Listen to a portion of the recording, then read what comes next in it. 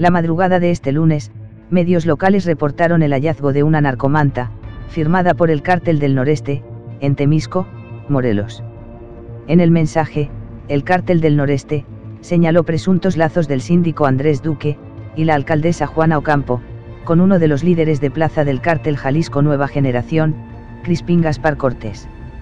A continuación el contenido de la narcomanta. Para todo el municipio de Temisco, se les informa que todo aquel que apoye a Crispín Gaspar Cortés, y a sus aliados, se les tomará como enemigos del CDN.